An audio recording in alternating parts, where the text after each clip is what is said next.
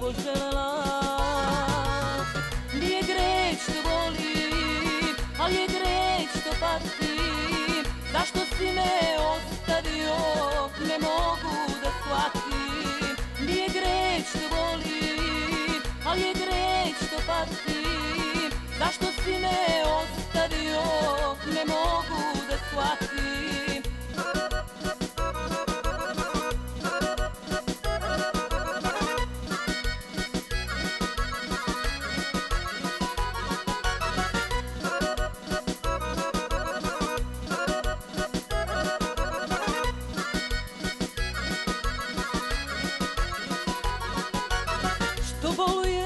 bolujem i tugujem, ti ni malo i ne kreješ Od mene si otišao, drugoj svoje srce daješ. Od mene si otišao,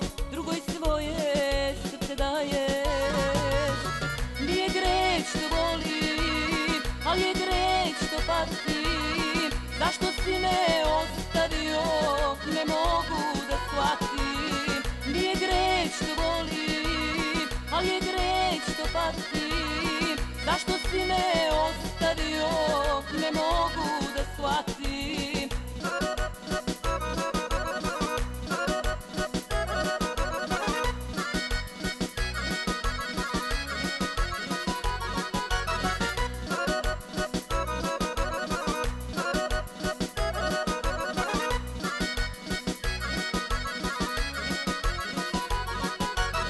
Svakog jutra kad se budim